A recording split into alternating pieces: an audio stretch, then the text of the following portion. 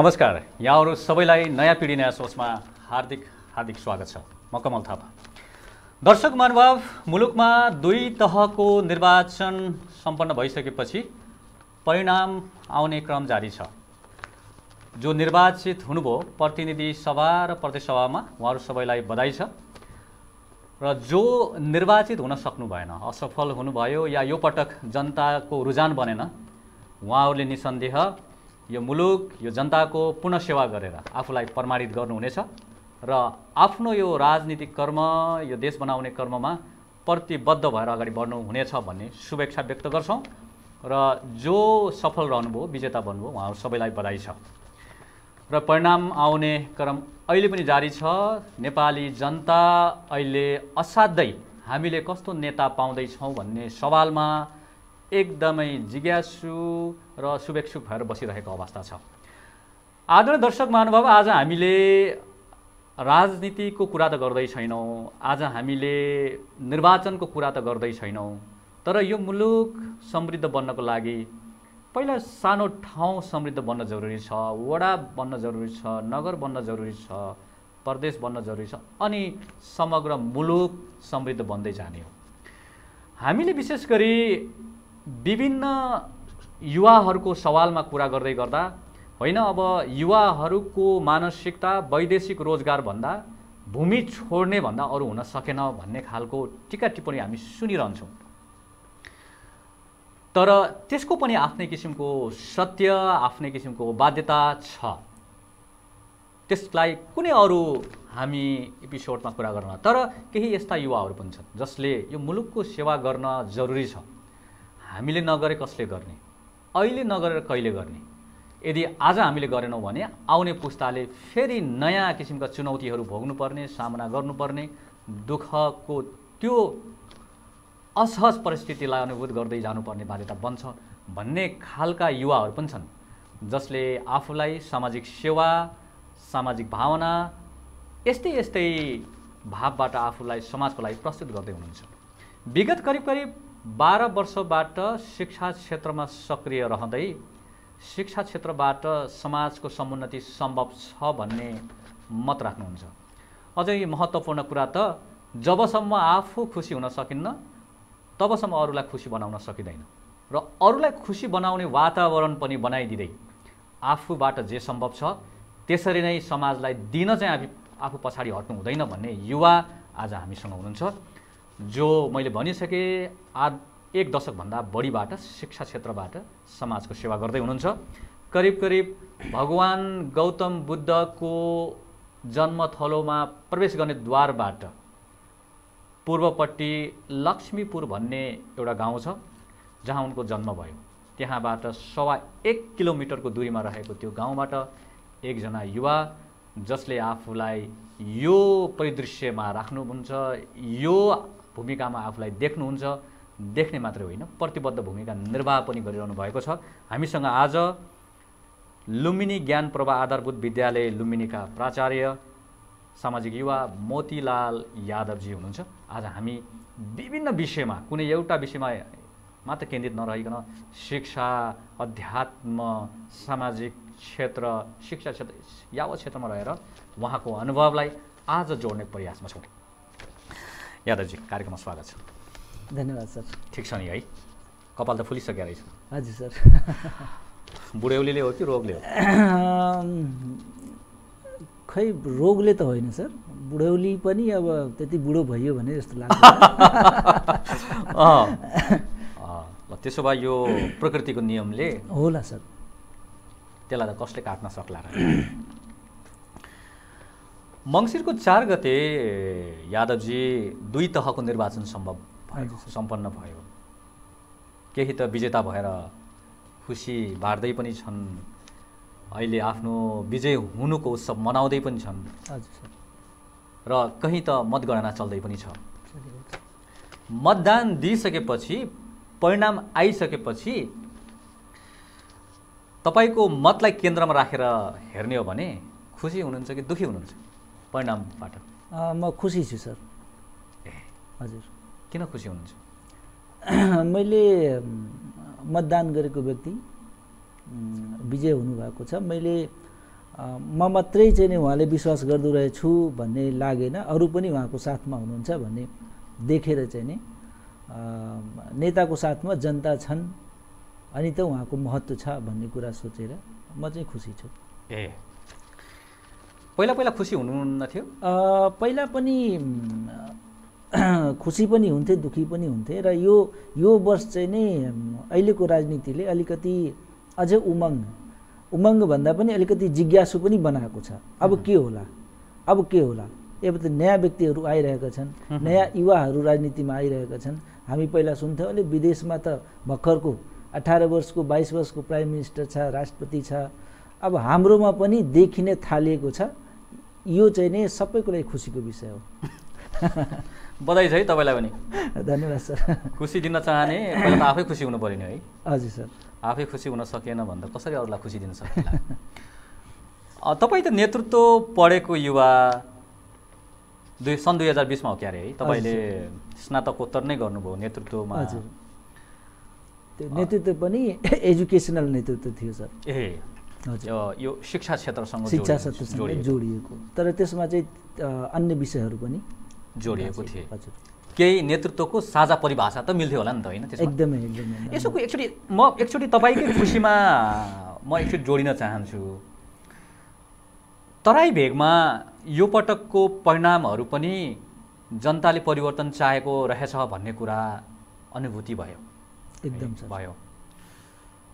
तर विशेष गरी तराई भेगलाई हेर्दाखेरि धेरै मतहरूको किनबेच हुन्छ अरे अनि अहिले पनि त्यो भेगमा अथवा तराई भेगमा रहेका समुदायहरूमा अहिले पनि त्यसरी उम्मेदवारहरूले नेताहरू गएर चाहिँ उहाँहरूको मत चाहिँ दुरुपयोग गर्ने जालझेल गर्ने कुनै न कुनै हिसाबले आफ्नो प्रपञ्च लोभ आदि देखाएर चाहिँ खरिद गर्ने किसिमको अभ्यास हुन्थ्यो रे भन्ने सुन्थ्यो। यो पटक त्यस्तो भयो। अ, केहीसम्म भयो सर। भयो पनि र अहिले चाहिँ नि जनता पनि चलाक हुँदै गएछ कि? ठिक छ दिनेले दिइरहेको छ भने मान्छे त एकपटक पो धोका खान्छ नि। दुई पटक तिन पटक चार पटकसम्म त धोकामा बस्दैन। र ठिक छ यो मान्छेले यसरी मत लिन्छ।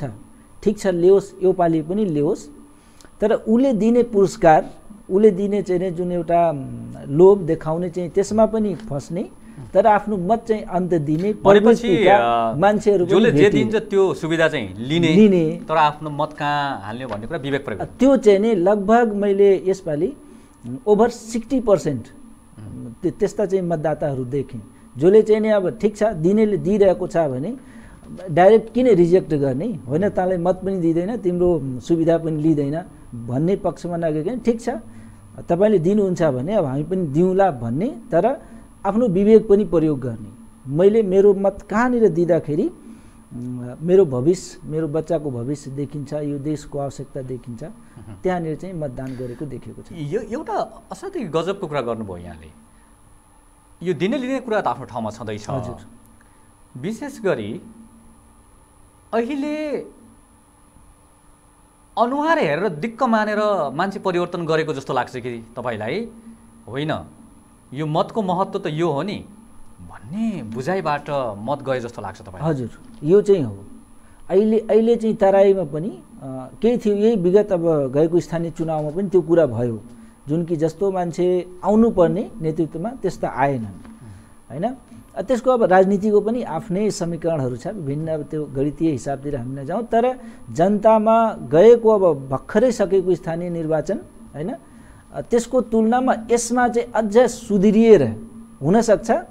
भर्खर एउटा गल्ती गरिहाल्यो अब चाहिँ सुधार गर्नुपर्छ। है जस्तो चाहिँ नि मैले अनुभव गरेको छु। समाजले चाहिँ नि अहिलेको आम मतदाताले इभन तराईकाले पनि त्यो अनुभव गरेको जस्तो लाग्छ यो यो चुनावमा। ल त्यसो भए त अब अब हुने चुनावहरू निसन्देह यो तपाईँले एउटा लाइन तानेको साठी पर्सेन्ट अझै बढी प्लस। भएर चाहिँ जाला। किनभने अहिले त युवाहरू पनि बिस्तारै शिक्षित हुँदैछन् एकदम आफ्नो गाउँभन्दा बाहिर निक्लिएको अवस्था छ। चाहे वैदेशिक रोजगारको सिलसिलामा होस् या रोजगारको सिलसिलामा होस् या अध्ययनकै सिलसिलामा होस् यहाँहरू जस्तो युवाले पनि त्यो क्षेत्रमा सामाजिक जागरणको कामहरू गरिरहनु भएको छ। र परिस्थिति यसरी नै जानु आवश्यक पनि छ। अब म यो निर्वाचनलाई एकातिर छेउतिर राख्छु है। म तपाईँको अध्ययनमा जोडिएर त्यसपछि फेरि म तपाईँको पेसातिर जाउँला। हजुर। एउटा कुरा तपाईँले भन्दै हुनुहुन्थ्यो अघि जबसम्म हामी अनौपचारिकमा कुरा गर्दै जबसम्म आफू खुसी हुन सकिन्न अरूलाई खुसी बनाउन सकिँदैन। र अरूलाई खुसी बनाउन सक्ने भन्ने सवाल पनि आफैमा ठुलो चुनौती चाहिँ हो। तर। सक्दो वातावरण चाहिँ बनाइदिनुपर्छ। र समाजलाई जे सम्भव हुन्छ त्यो चाहिँ दिन चाहिँ सक्नुपर्छ। सायद मानव हुनुको सार्थकता पनि यस्तै यस्तै होला भन्नुहुन्थ्यो। हजुर। तपाईँको आफ्नो यो विवेकलाई अझै त्यो भित्र अलिक अलिकति थोरै गहिराइमा अत्यधिक गहिराइमा होइन ठिक्क गहिराइमा। लगेर एकचोटि तपाईँको मत सुनाउ न अभिवे अभिमत सुनाउ न भन्न खोज्नु भएको के हो? मैले ठ्याक्कै यसरी बुझेको ठिक हो कि होइन? अब खुसी सबभन्दा पहिले त हामी अब सबै कुरा छोडिदिने हो भने त हामी जे पनि गर्छौँ जे कुरा हामी गर्छौँ पढ्छौँ लेख्छौँ यसो साथीभाइको सर्कलमा बस्छौँ आफ्नै सन्तुष्टिको लागि हो कि आफ्नै खुसीको लागि गरिरहेका हुन्छौँ। अब त्यो म कसरी खुसी हुन्छु त अनेक कुराहरू हुन्छ कि? त्यो परिस्थिति अनुसार चाहिँ फरक फरक हुन्छ। आज मैले सरको फोन पाउने बित्तिकै सरसँग भेट्ने एउटा अवसर मिल्छ भन्ने खुसी थिएँ कि? होइन त्यो खुसीको माहौलले पनि यहाँसम्म ल अब धेरै समय भयो। अब यही एउटा बाहना हाम्रो चाहिँ नि भेटघाट हुन्छ। होइन? यस्तै एउटा भित्री खुसी हुन्छ एउटा चाहिँ नि अब क्षणिक खुसी हुन्छ। मान्छेको जीवन एउटा अध्यात्मबाट सुरु हुनुपर्छ भन्ने मेरो एउटा मान्यता कि? चाहे त्यो अध्यात्म भनेको अब घर छोडेर सन्यासी भएर हिँड्नुपर्छ त्यो अर्को पाटो हो होइन? तर एउटा के हुन्छ भने एउटा सिलमा बस्ने एउटा सदाचारको जीवन आफू पनि नराम्रो नगर्ने अरूको नराम्रो नगरेपछि चाहिँ नि आफ्नो मन नडगमग नडगमगाउँदो रहेछ होइन? यदि मैले कसैको कुभोलो चिताएँ मात्रै पनि म शान्त हुन्छु। होइन? त्यो कामबाट बच्ने बित्तिकै हामी चाहिँ स्वस्फूर्तले खुसी हुन्छौँ। त्यो खुसी मनले हामीले जे गर्छौँ त्यो राम्रै हुन्छ। त्यो देखिएको पनि छ देखिन्छ पनि। मैले स्माइल गरेर तपाईँसँग बोलेँ भने सरले चाहिँ नि ओहो उहाँ चाहिँ एकदम ह्याप्पी हुनुहुन्छ भन्ने फिल चाहिँ नि एउटा जाँदो रहेछ। मैले त मिलियन डलर स्माइल भन्छु तपाईँको लागि। हजुर। थ्याङ्क यू सर एक्चुली तपाईँको त्यसो भए पेसाको जीवनतर्फ जाउँ न एकपटक है। हजुर। लुम्बिनी ज्ञान प्रवाह आधारभूत विद्यालय अहिलेको अवस्थामा आइपुग्नको लागि त सहजै आइपुगेको चाहिँ होइन। म थोरै पहिला तपाईँको म बाल्यकालमा चाहिँ जाँदिनँ। तपाईँ अलिकति युवा अवस्थामा हुँदाखेरिको तपाईँको थोरै समाज सामाजिक परिवेश थोरै सुनेर हजुर। त्यसपछि अहिले तपाईँ कहाँ हुनुहुन्छ भन्ने कुरा पनि थोरै सुनाउ न त्यसपछि। अब स्कुलको सुरुवातमा यदि जाने हो भने म चाहिँ अलिकति अलिकति आफ्नो स्कुले जीवनतिर जानुपर्छ। होइन? किनभने त्यहाँबाट नै एउटा प्रेरणा एउटा चाहिँ नि मार्गचित तयार भएको हो। म बस्ने म जन्मेको गाउँ लक्ष्मीपुर। हुन त त्यो छेउछाउमा पनि स्कुल नभएका होइनन् थिए। तर कस्तो परिस्थिति बन्यो भने बुद्ध आदर्श जुन कि खुनगाई लक्ष्मीपुरबाट लगभग आठ किलोमिटरको डिस्टेन्समा पर्छ सिधा सिधा जाने हो भने म त्यहाँ प्राविबाट पढेको प्राइमेरी लेभलबाट चार कक्षाबाट। त्यहाँ जाँदाखेरि लगभग दुई घन्टा म हिँडेर जान्थेँ दुई घन्टा जाँदा दुई घन्टा आउँदा चार घन्टा दिनको बाटोले खान्थ्यो यसरी म चाहिँ सात क्लाससम्म गएँ। त्यसपछि बुवाले चाहिँ नि एउटा पुरानो साइकल यसो कबाडीबाट पुरानो साइकल किनिदिनु भयो। त्यसलाई चाहिँ रिपेयर गरेर म साइकलमा। हजुर मर्मत गरेर साइकलमा जान थालेँ। तर त्यो बाल्यकालमा चार वर्ष हिँडेको त्यो याद रहन्थ्यो। म मेरो गाउँको पहिलो एसएलसी ग्रेजुएट पनि हो त्यो गाउँको। ए एसएलसी पास भइसकेपछि मेरा बुवा आमा त खुसी हुने कुरा भइ नै हाल्यो। पुरा सारा गाउँ नै खुसी थियो। ल एकजना बच्चा चाहिँ नै पढेको छ। हजुर। अनि त्यसले गर्दा अब गाउँमा स्कुल छैन। अनि हाम्रो गाउँ फेरि चारैतिरबाट नालाले घेरिएको। पानी पर्दाखेरि बाढी आउँदाखेरि त्यो क्रस गर्ने गाह्रो। श्रीलङ्का जस्तो। हजुर। त्यस्तै त्यस्तै त्यस्तै किसिमको। अनि यता यता लुम्बिनीबाट पनि डाइरेक्ट बाटो नहुने। अनि हामी त अब खेतको आलिआलीबाट हिँडेर जानुपर्ने हुन्थ्यो। अनि यहाँ के गर्दा हुन्छ भन्दाखेरि गाउँलेहरूसँग यसो यस्तै अब छलफल गर्दै जाँदा स्कुल भए राम्रो हुन्थ्यो। स्कुल अब कहाँ सुरु गर्ने? अब न आफूसँग अनुभव छ न न त आफू परिपक्व नै भइएछ भर्खर एसएलसी दिएको छ। अनि प्लस टू पढ्नलाई त्यतिखेर म भैरव बहुमुखी क्याम्पसमा एडमिट भएको थिएँ तर अब त्यहाँबाट अप डाउन गर्दाखेरि त्यो पनि अलिकति सङ्घर्षपूर्णै थियो। अनि यताको पढाइ पनि गर्दै अनि उता स्कुल सुरु गर्ने कि भन्ने सोच भयो। स्कुल कसरी सुरु गर्ने? गाउँलेहरूले चाहिँ नि एउटा जग्गा उपलब्ध गराइदिनु भयो। त्यो कस्तो जग्गा भने प्रति जग्गा तर क्रस फलो नेपालले त्यहाँ एउटा संस्था छ एनजिओ उहाँहरूले गाउँ गाउँमा लगभग बाह्रवटा गाउँमा एउटा सामुदायिक भवन बनाइदिनुहुन्थ्यो। त्यसमा चाहिँ समुदायका मान्छेहरू बसेर छलफल गर्ने यसो केही कुराहरू गर्नु पऱ्यो भने जमघट हुने ठाउँ। तर हाम्रो गाउँको लक्ष्मीपुरको सामुदायिक भवन चाहिँ नै एकदम त्यो बेवारिसे अवस्थामा। त्यहाँ चाहिँ नि बन्न त बन्यो तर त्यसमा कुनै किसिमको उपयोग छैन। उपयोग छैन। त्यो अब झाडीमा यसो झाडीको बिचमा अब उम्रेको घाँसहरू छ। त्यहाँ गयो भने अब यही गाई भैँसी चराउने मान्छेहरू गएर बस्थे। अरू अन्यथा कुनै उपयोग थिएन र यस्तो अवस्था पनि आइसकेको थियो कि अब यसको जस्ताहरू निकालेर सबै अब जसले पायो उसले लिएर जाने अवस्था थियो। दुई हजार पैँसठी सालमा स्कुल खोल्ने भनेपछि ल त्यो एउटा भवन यत्तिकै व्यवहारिक अवस्थामा छ त्यहीँबाट किन सुरु नगर्ने भनेर गाउँको बच्चाहरू त्यहाँको अब बुद्धिजीवी सर्कलको मान्छेहरू ल त अब सफा गरेर अनि सबैजना घाँसहरू काटेर सफा गरेर अनि त्यहाँबाट विद्यालय सुरु गर्ने भन्ने कुरा गऱ्यो विद्यालय सुरु गर्दा चाहिँ कस्तो प्रकृतिको विद्यालय त अनेक छन् कस्तो प्रकृतिको विद्यालय हामीले खोल्ने त? अब जुनमा चाहिँ नि सबैको पहुँच होस् न त।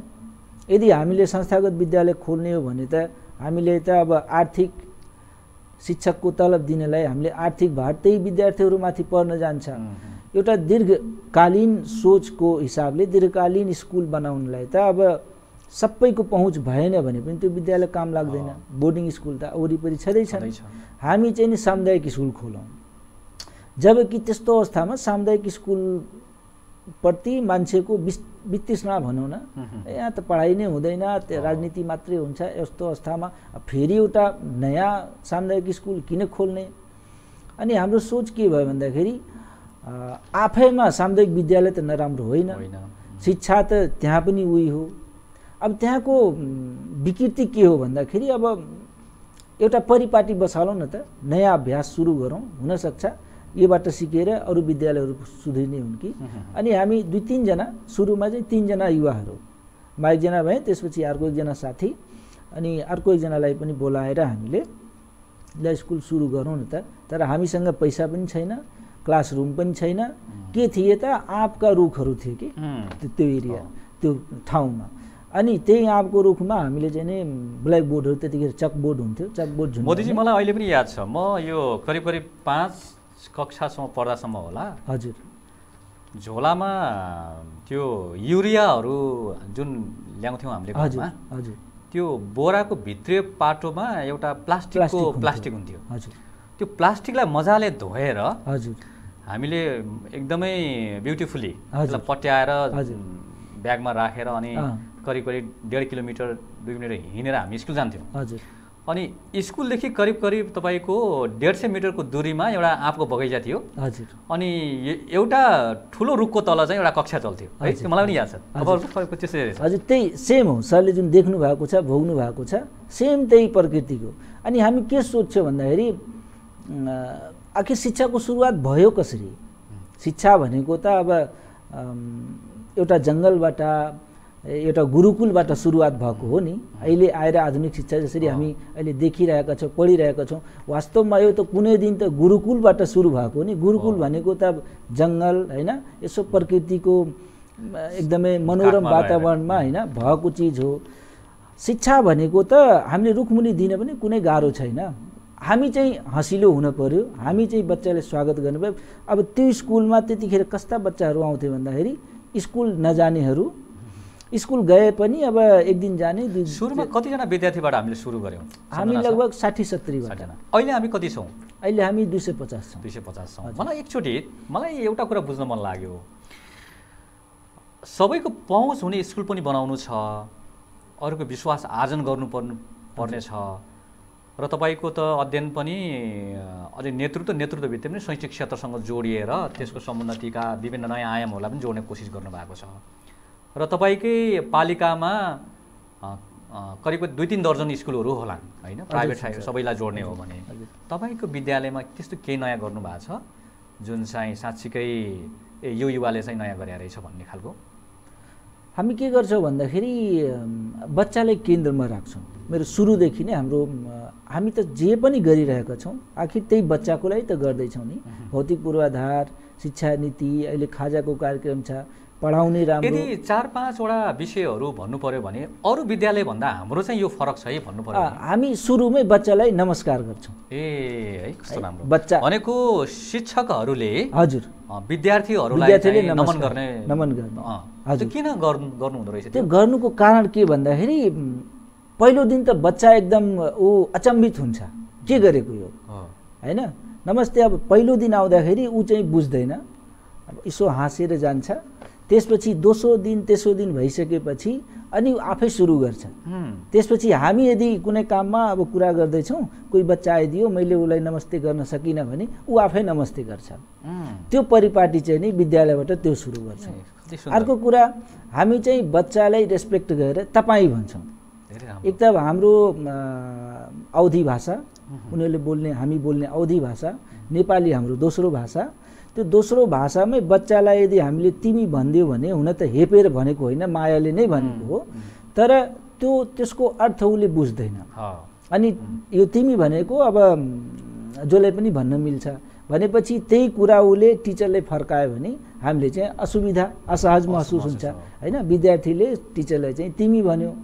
अब सिकाइ कहाँबाट सुरु गर्ने? अब त्यो स्कुलमा क्लासरुममा किताब लिएर पढ्ने लेख्ने कुरा त आफ्नो ठाउँमा छँदैछ। त्यो गर्छन्। तर हामी सुरुवात चाहिँ नि तपाईँको नाम के हो? तपाईँ आज के खाएर आउनुभयो? तपाईँले कस्तो छ? तपाईँको बुवामा कस्तो हुनुहुन्छ? ती कुराबाट सुरु गऱ्यो भने बच्चा चाहिँ नि सुन्दै सुन्दै अनि धेरै कुराहरू सिक्दै जाँदो रहेछ। त्यो एउटा नेपाली भाषाको विकास पनि होस् र एक किसिमले हाम्रो भित्र चाहिँ नि बच्चाप्रति सम्मान पनि दर्शाउनु हो। ऊ चाहिँ आफूलाई ए मलाई त तपाईँ भन्नुभएको छ भन्ने महसुस गरोस् न बुझ्ने बच्चाले। साथै राम्रो। त्यो चाहिँ अनि शिक्षण प्रणालीमा प्रविधिहरूमा तपाईँहरूकोमा नयाँ केही पाइन्छ अरू खासै चाहिँ नि हामीले प्रविधि प्रयोग गर्न सकिरहेको छैनौँ। हामी चाहिँ नि बच्चाहरूले ध्यान राख्छौँ। पाँच मिनट दस मिनट चाहिँ नि आनापान। हरेक दिन? हरेक दिन। अनि त्यसले चाहिँ नि बच्चाहरूमा चाहिँ धेरै परिवर्तन देखिएको छ। बच्चाहरूको चाहिँ शिल स्वभाव सुरुमा आउने बच्चा एक हप्तापछि चेन्ज भएको देखिन्छ। एक वर्ष दुई वर्ष पढिसकेपछि बच्चाको चाहिँ नि यहाँबाट गइसकेको अभिभावकहरू जुन बच्चा पढेर गइसक्यो कुरा गर्न आउनुहुन्छ। मेरो बच्चा चाहिँ पहिला यस्तो थियो तर यो स्कुलमा आइसकेपछि।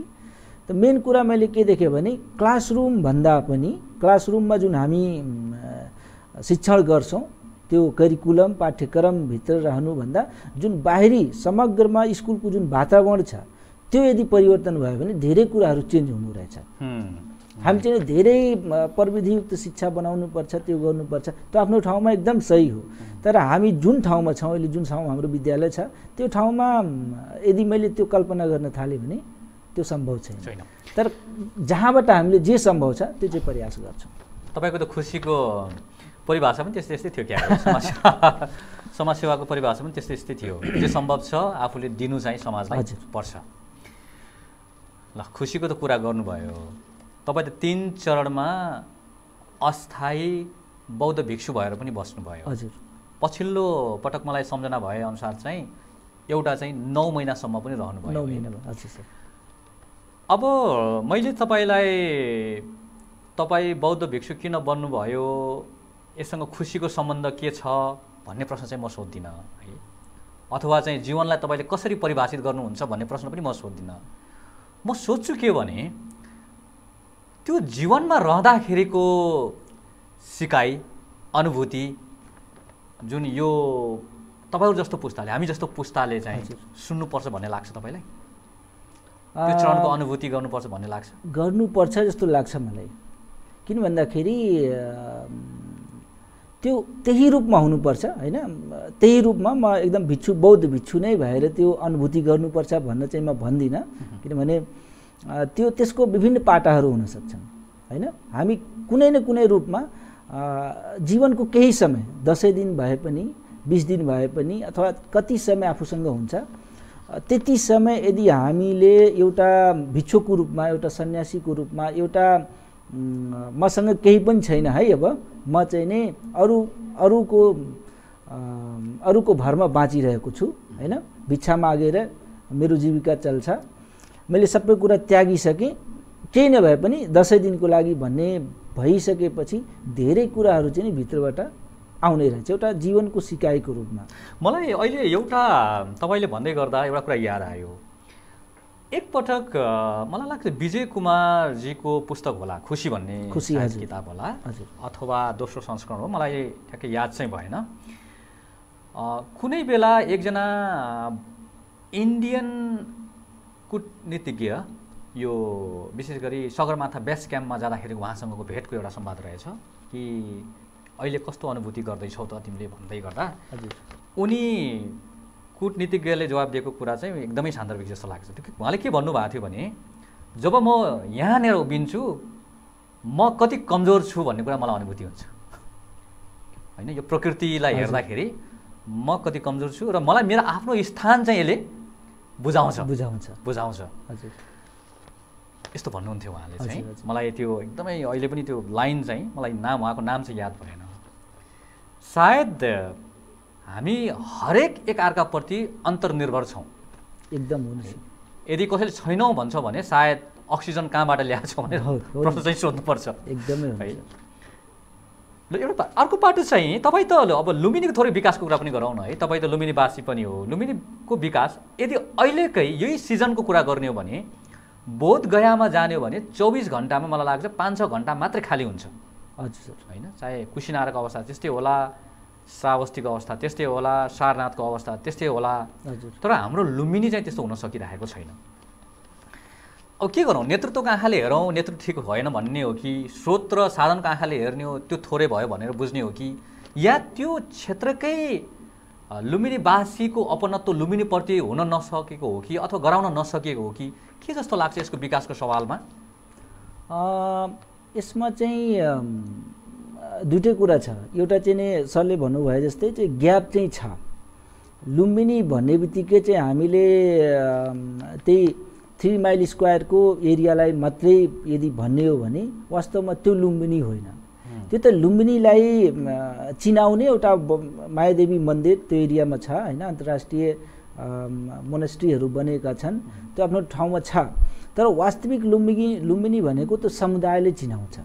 त्यहाँ संस्कृति त्यहाँको मान्छेहरूको अवस्था यदि त्यो विकास हुन सकेन भने तबसम्म जबसम्म त्यो विकास हुँदैन तबसम्म लुम्बिनी डेभलप भयो मास्टर प्लान पुरा भयो होला। अब न्युजहरूमा सुन्ने गर्छौँ लगभग एट्टी पर्सेन्ट काम पुरा भइसक्यो मास्टर प्लानको। भने त्यो भित्रको त्यो गार्डन एरिया मोनेस्टिक जोनहरूको एरिया चाहिँ नि पुरा होला। तर मलाई लाग्छ त्यति मात्रै लुम्बिनीको विकास चाहिँ नि हो भन्न चाहिँ गाह्रै छ। बाधक चाहिँ के हो भन्न खोजेको मैले? तपाईँ एउटा स्थानीय भएको नाता। स्थानीयमा पनि तपाईँ त बुझेको युवा चाहिँ। हजुर। होइन? त्यसमा विभिन्न कुराहरू छन्। एक त देशको राजनीति नै हो किन भन्दाखेरि लुम्बिनीको विकास हुनुमा अब संस्कृति पर्यटन मन्त्रीको मन्त्री नै त्यसको चाहिँ अध्यक्ष हुने। त्यसपछि एउटा राजनीतिक नियुक्तिबाट उपाध्यक्ष चुनिने। अनि यो सबै कुराहरू राजनीतिबाट यस्तो उपाध्यक्ष कोषाध्यक्ष सदस्य सचिव एउटा राजनीतिकरण पनि एउटा पाटो एउटा पाटो हो होइन? अर्को अर्को त्यो ठाउँमा चाहिँ नि मान्छेहरूलाई अब स्थानीयहरूलाई पनि जोड्न सक्ने अवस्था पनि छैन। सायद स्थानीयले अपनत्व अझै ग्रहण गर्न सके ग्रहण गर्न सकिरहेको छैन।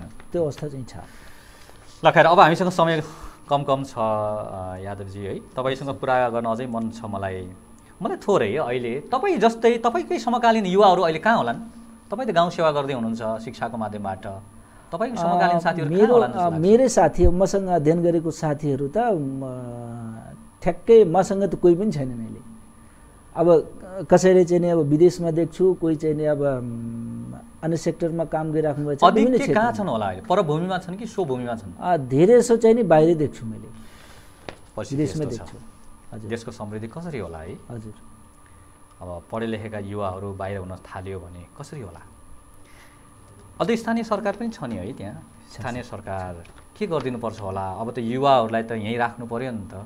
होइन? अब स्थानीय सरकार घरको सरकार हो अहिले त। उसले नजिकबाट बुझ्न पाउँछ। बुटोलबाट नि हेर्नु पर्दैन अहिले त। लुम्बिनीलाई लुम्बिनीबाट हेर्ने के गर्नुपर्छ जस्तो लाग्छ? यदि युवाहरूलाई हामीले यहीँ संस्थागत गर्ने भने स्थानीय सरकारको के चाहिँ भूमिका भइदियो भने केही हदसम्म सन्तोषजनक परिस्थिति बन्न सक्थ्यो होला जस्तो लाग्छ?